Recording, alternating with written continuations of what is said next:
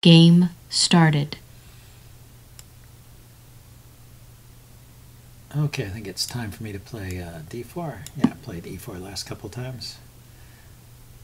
Got some Sicilians in an unusual game. Okay, d4, d5. Just 321. Okay, it's a Slav defense.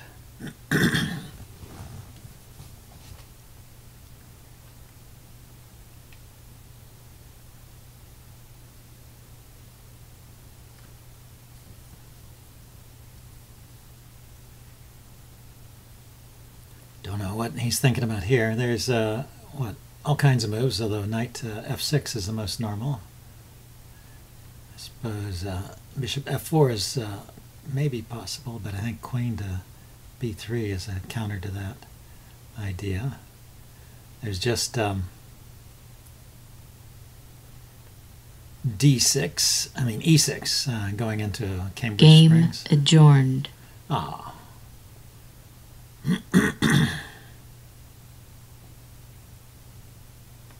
well, let's see if we resume.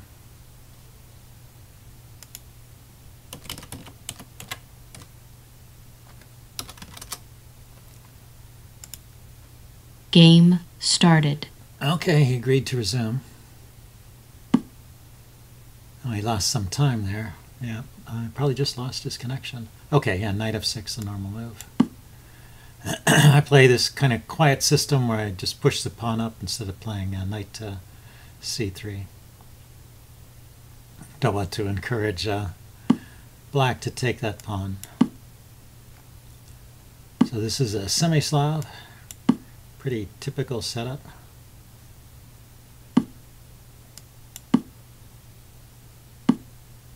Um, this would be a lot like the Meran variation, except uh, instead of the bishop out, they would have the knight to d7 move in. so, what do I want to do?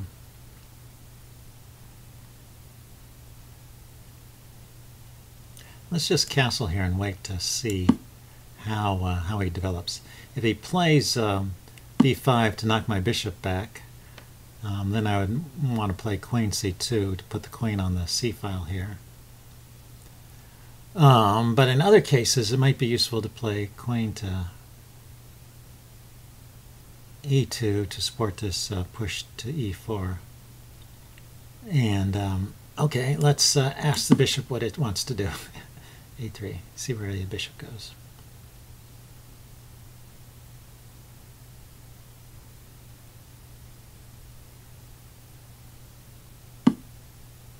Just retreats.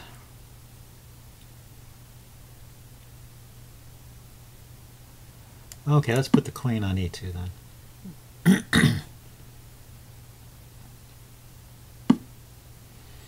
the bishop is kicked, it can always go back to uh, b3 and c2, and then I can play queen d3 and mate along that diagonal. A simple plan.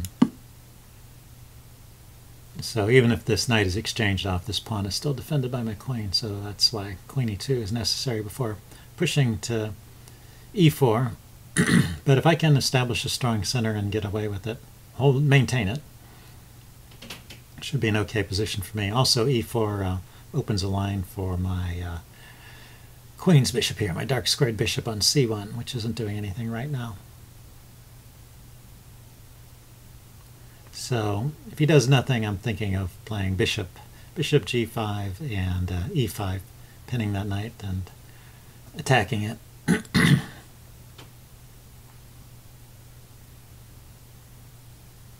Normally, uh, black will play something like e5 himself or c5 to bust up white center.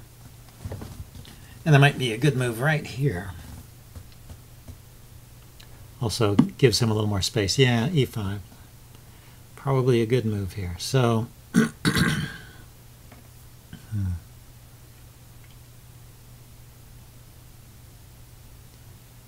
I want him to take.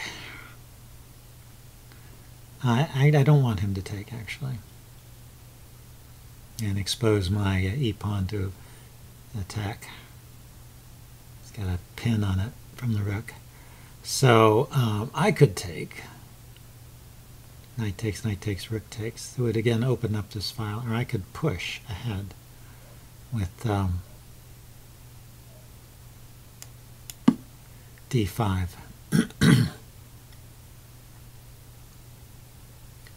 and now if he takes, I can take with a knight.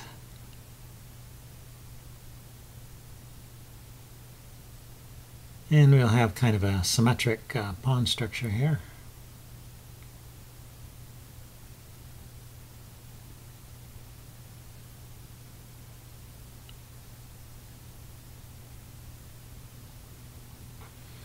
You can take the uh, knight first and mess up my pawns and then take here.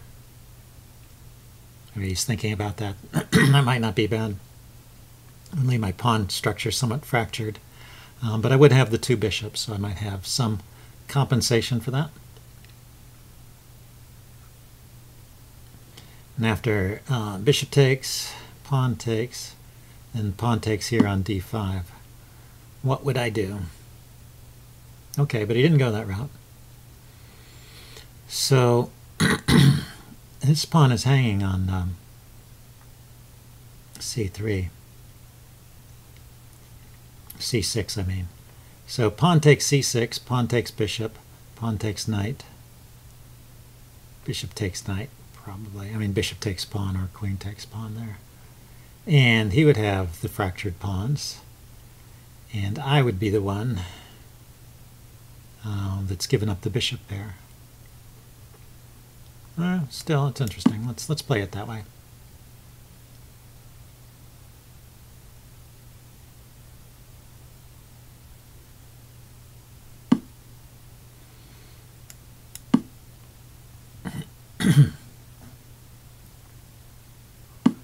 now he can uh, return it to a symmetrical pawn structure by taking this knight, but I think he wants to uh, his bishops. So I'm guessing he's not going to do that. Now, the knight is attacking the e-pawn and it's defended by the rook. Um, the bishop could be developed here. This is an idea. Develop the bishop with the idea of playing knight to um, knight d5, putting pressure on the pinned piece. And then if he kicks the bishop, I'll come around here and try and pressure the deep the e pawn. I guess. Oh, you know, I should have.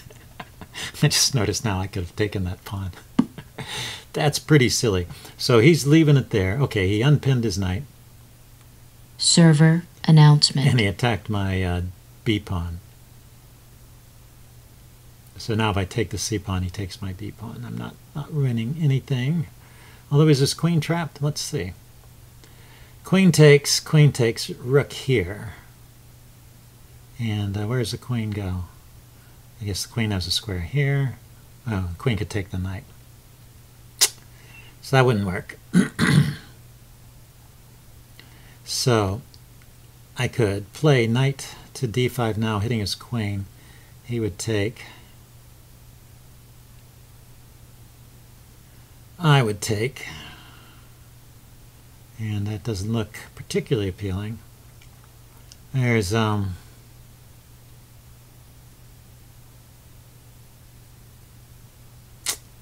Yeah, I think I missed my chance there.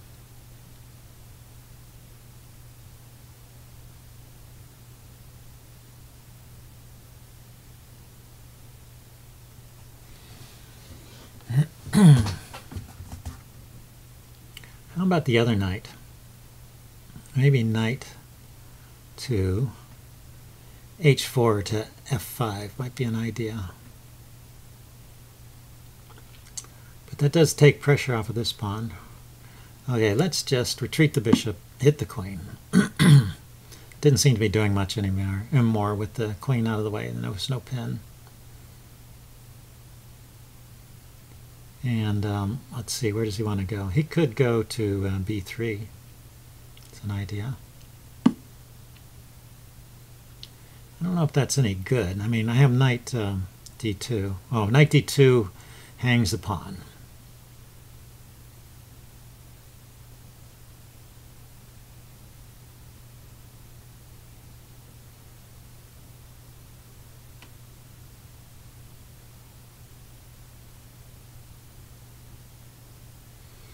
So something seems kind of suspicious about that move, queen b3. Let's see, um, but nothing, nothing is hanging. This is defended by the queen. Okay, so how about rook to c1, because he was threatening to take the um, knight and just win a pawn or two. So rook c1, rook b1, then knight uh, d2 is an idea, hitting the queen and attacking this loose pawn over here. And yeah, I was sort of expecting that move. So he's double attacking here, but uh, I'm defending with the rook and the queen. So I'm okay now, I think. Let's see, unless there's a... Uh, ah, there might be one of these tactics. He takes, I take with the rook. Queen takes, and if a pawn takes... Yeah, there is a tactic there. Okay, so I'm down a piece, so I can't just ignore it. If I can take back with the pawn, then uh, he can give up uh, queen for two rooks. Pawn takes, queen takes, rook takes, rook takes, check, and uh, knight. Knight here, I guess, uh, to defend against the mate on the back rank. Or rook takes bishop, queen takes, pawn takes queen. It's the same, rook takes. Is there a way to chase the queen first? Yeah, it'd be nice to throw in a move like knight to d2, but you can just take it with the bishop. So rook takes, queen takes. Can I do anything on that at that point? Man, that's annoying. Yeah, guess I should have thought of that before the move.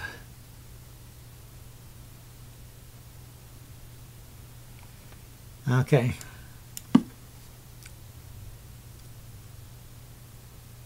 I'm expecting a queen takes rook.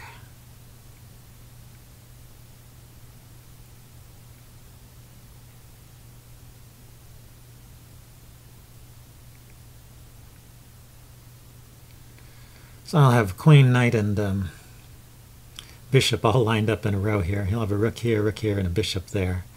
And uh, let's see, the bishop can't immediately destroy me. Yeah, I think that was sort of forced. Check. And uh, I didn't want to use up all my time on these moves, which are basically forced. We'll see what he has in this position. Um, I need to uh, move my king off the back rank in order to uh, liberate my... Um, ah, man, he's just going to gobble up all my pawns, too.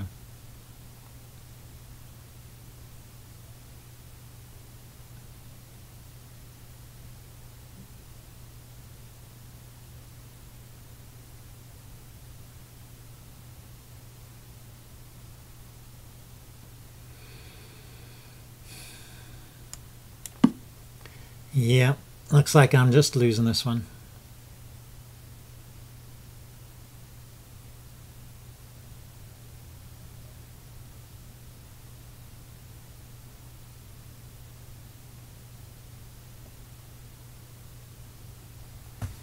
Let's the bishops are of opposite colors. There's this faint ray of hope.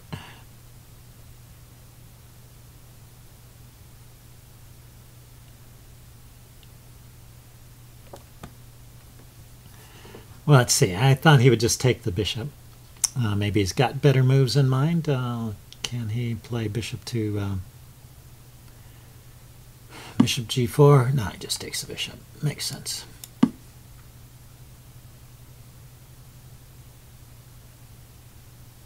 So no more opposite colored bishops. Let's see, I want to play f3 or h3, probably h3. Just basically open up a dark square for the king to hide out on. oh man, he's going to come down to the 8th rank.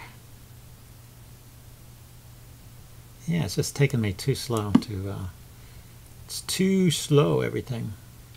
So he's going to play rook to uh, seventh rank. I meant rook to um, b2 probably, queen to um, e3.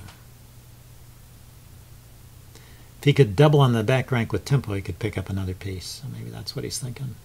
I'm going to play here, and then then um, I'm threatening at least to uh, take a bishop, which he's not going to allow.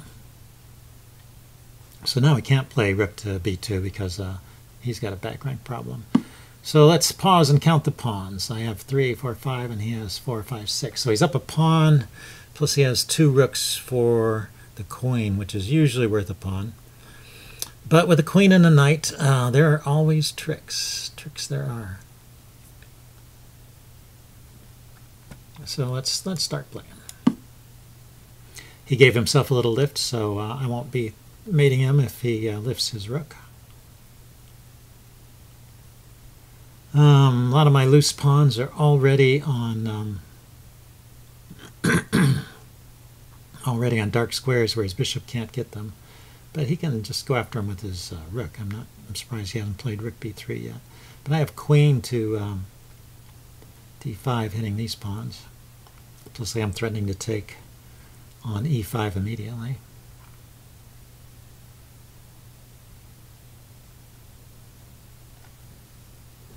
So the game goes on. There's still some fight. a little life, unless, uh, or until he finds the, the next move to crush, crush the life out of the position.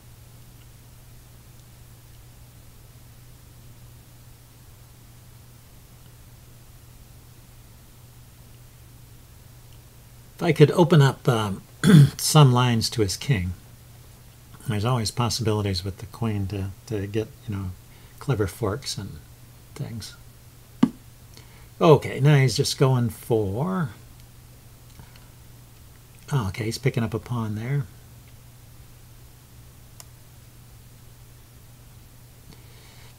So this move um, hits the rook. So if he takes the pawn, I will grab his rook. Um, and can he move his rook with tempo to attack me? Um, if he does, I will take the um, e-pawn at least.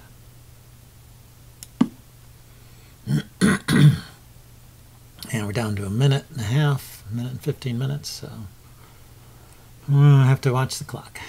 Watch that. Be nice to get rid of this um, e-pawn because uh, the knight from there would uh, attack. It would attack both the um,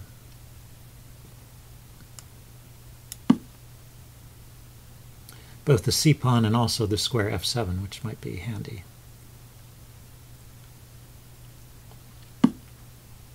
Ah, now he hits the queen. Well, that was, that was a nice maneuver.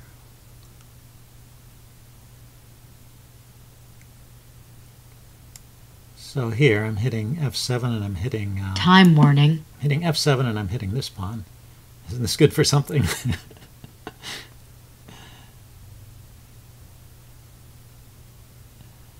if he defends f7, uh, oh, he can defend with the bishop.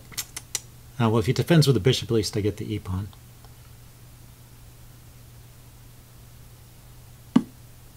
He decided not to. Oh, that's weird. Check. Uh, yeah, yeah, he had to defend that because he's losing the bishop now. What do you know? I may have pulled this one out through through no uh, fault of my own. Well, just being alert, being tactically alert all the time. And that opens up a nice check here, which I should have thought about. Um, let's see. Check. What we can do here.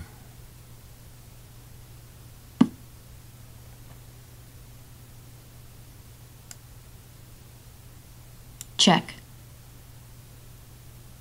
Yeah, that drives him to a square. Oh, he could go to that square. That's too bad. Hmm, hmm,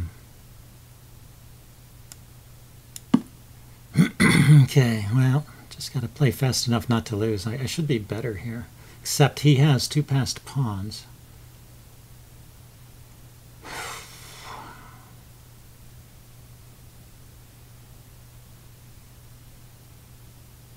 There's probably some uh, winning combination I missed there too. okay, he's just going to gobble up uh, more pawns. Well, he decided my uh, check was harmless.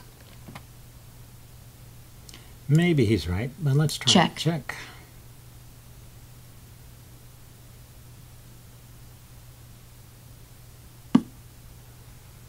And um, Check. yeah, I guess I don't see anything. That's weird.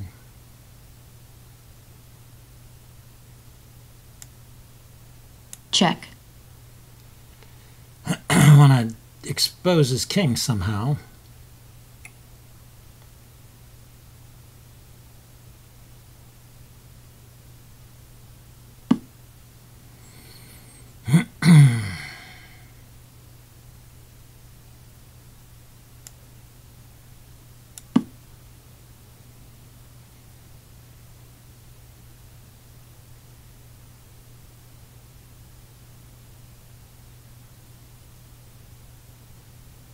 Hmm. Well, my opponent may lose on time or he may start moving quickly here.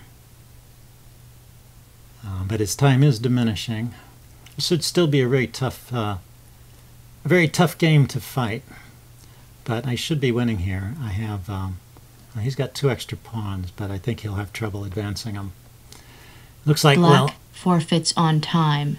okay, uh, interesting game. I'm going to upload this one and uh, see you guys later. Bye.